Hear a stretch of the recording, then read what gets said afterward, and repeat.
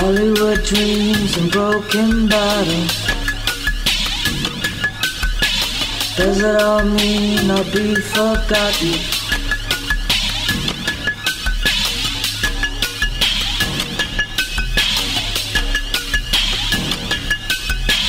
Hollywood dreams and broken bottles.